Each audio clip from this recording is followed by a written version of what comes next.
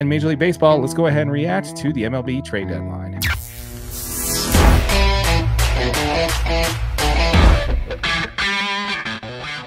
Before we get into content, folks, we're doing a giveaway. We are so close, folks. Once we hit a thousand subscribers, we're going to be giving the first $500 that we earn in AdSense revenue back to our subscribers. If you have not yet, please hit that subscribe button, hit it, hit that notification bell, hit it, so you don't miss out on that giveaway, and also smash that like button for your boy AJ right over there. Boom, I appreciate it.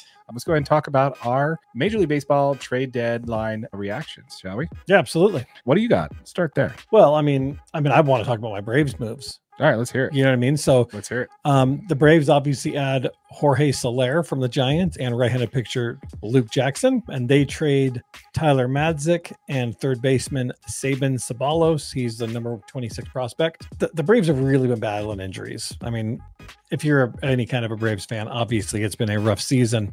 Um, so you know we needed some help in the outfield. Jorge Soler is somewhat of a Braves legend, obviously in that 21 championship. He ends up winning the World Series MVP with his performance. And I mean, and they also had Luke Jackson in that same series. So they brought back, maybe they're trying to recreate some magic. Um, they're currently, you know, they're they're in the number one for the NL wild card. So the Braves got to do something. They had to make some moves. Was this enough? I don't think so. Um, Yeah. They they needed a little bit more than this, but you're just kind of hoping that the Braves ended up getting healthy and, and can kind of keep pushing to make some wins. If you were to give them a grade, what would you give them? I mean, the, the couple guys they did pick up will help this team win some more ball games. Maybe a B, mi- maybe a C. I don't know. Yeah. The, the the thing was is I don't know if they did enough to really move the needle. Yeah, my only objection So- to, to that is I'd give him a C minus, and the only reason why I give him that low a grade is you had one job on this trade deadline, which was build a team that can beat the Phillies, Yes, and I don't think you did that. and and I don't think you did enough to beat the Phillies. Yeah, so Yeah. that's kind of my only downgrade there. Let me give you a uh, let me talk about a team that got an A grade for me. Okay. uh, that'd be the Blue Jays. Ooh, the Blue Jays. Okay. Yeah, the Blue Jays they traded away uh, right-handed pitcher Yimi Garcia to Seattle. They trade away catcher Danny Jansen to Boston, outfielder Kevin Kiermaier to the Dodgers, left-handed pitcher Yusei Kikuchi to Houston, infielder Isaiah Kiner-Falefa to Pittsburgh, right-handed pitcher Nate Pearson to Chicago Cubs, right-handed pitcher Trevor Richards to Minnesota, and DH to my boy Red Turn to Justin Turner to Seattle. Uh, so that's a whole lot of talent that they traded away. Why am I saying they're giving them an A? Because they brought in a lot of good guys too. They brought in a ton of prospects. Jake Bloss, the Astros number two prospect. Um, Yeah. The Mariners number 13 prospect, the Cubs number 17 prospect, the Red Sox number 18 prospect. Yeah, so let's go back to that Houston one for Yusei, Okay. Yusei Kikuchi. What prospect did they give up for him again?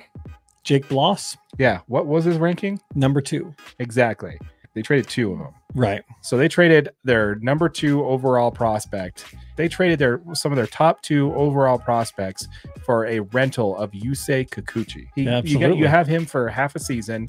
He's not exactly. I mean, he's a good pitcher, but he's not a great pitcher. And for some top prospects, it's You like not they're trade just away. like, yeah, no, we're not gonna get we're gonna get something for him right now. They totally reloaded their whole team without giving away any of their. I mean, they- still have Vladimir Guerrero Jr. They still have Bo Bichette. They still still have Springer in the center field. All their top talent is still with the team. Yeah. They didn't give away any of their top talent or any of their prospects, yet they reloaded on a whole bunch of prospects for rebuilding the team. Yeah. I think that to me that gives them an A. Pretty impressive. Yeah, Yeah. So let's talk about uh, the Orioles. Uh, they got uh, Zach Eflin from the Rays for a handful of prospects. Uh, none of them were their top 10 prospects. Uh, so that's good for them. Uh, so they now have Corbin Burnes, Grayson Rodriguez. That's a good three starting rotation for when you're in the playoffs. You only need really three good starters in the playoffs Yeah. to rotate between them. Yeah, I mean, and the rest. Orioles also added Patrick Riley, the Pirates number eight prospect. You know, I think they did a great job. Um, Zach Eflin is exactly adding exactly what you need. The Royals are stacked when it comes to hitting talent. They just were a little light on the pitching, which is why they went out and got, you know, Pitchers, yeah. which is why they went out and got Corbin Burnes in the offseason. Yeah. And, you know, now you just trade for Zach Eflin, which I think was an underrated pitcher in this trade deadline. But uh, yeah, good job on them, man. Um, the Cubs ended up getting the best bat uh, the available at the trade deadline, which was Paredes. Uh, he was an All Star this year. I think they gave up way too much for him, so I don't know what that move was there. But hey, good on them, man. They did a lot with a little. They're not going to catch Milwaukee. I don't think they're going to catch Milwaukee for the division. Yeah, I mean they're currently 11 games back, which is really tough. I mean they're at 51 and 51 and 47. I don't know if they did enough to keep pushing in to get that wild card spot. They're 11 and a half out of the wild card? or They're the division? 11 games back from the leader. But And right now they're six and a half games back of uh, wild card. So they got a lot of work to do. they added a bat and they traded away some decent prospects in order to get it. So I, Yeah. I don't think that was the right move for them to do. Love it. Um, so the Dodgers went ahead and added uh, the best pitcher available at the trade deadline, Jack Flaherty, right? Yep. Uh, so he is a rental as well. Flaherty's having his best season, you know, since he finished fourth in Cy Young voting in 2019. Like this dude's playing. Yeah, he's got a Yeah. 2.95 ERA E with 133 strikeouts. What the Dodgers are really missing right now is is that strikeout type pitcher right now. You got it in Glasnow, but he's even dipped the last couple starts. You really need that uh, strikeout capability that he has. Did you see that the, the Yankees passed on the Flaherty trade? Well, and they were worried about some injury concerns. I guess he had some some back pain Oh yeah, and stuff that he took some injections for like a month or so ago, and they were just like, nope, we're gonna pass. uh, like we mentioned on our previous episode, if they traded for him, they would just scale down his number of pitches that he's throwing, like just yeah, exactly. cut them down and get him in a better training regiment. And I think he's going to be just fine. Uh, and again, he's a rental. Uh, they didn't give up uh, any too too good prospects for him. I think one of them was Sweeney, which was a shortstop, uh, middle infielder prospect they got from uh, the Yankees in the first. And Well, they did give up Thayron Liranzo, the number three prospect. yes, but he's blocked at the major league level. Oh, he is. Yeah, he's a catcher. Oh, okay. And you got you got Will Smith who just signed a ten year contract.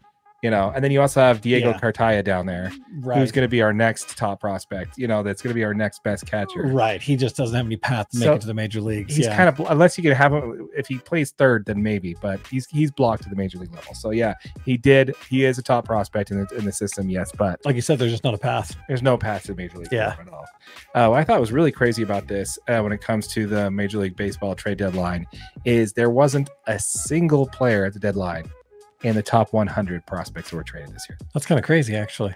that tells you how much these teams are valuing their prospects right now Yeah. We'd love to hear from you folks. Let us know in the comments down below uh, what you think. Uh, did you did your team make a trade this year that we didn't talk about? Let us know what you think. Yeah. Leave us a Um, comment. Let us know if you like it, who they traded. I don't know. I'm kind of a fan of the Mariners and what they did, man. Yeah, To add Randy Arozarena and Justin Turner, they knew they had to go get some bats, right? The Mariners are tied for first place. Yeah. I mean, they're looking to make a run. And the only issue they've had this whole season has just been their offense. Yeah. Their pitching's been great the whole year. Their defense has been great the whole year.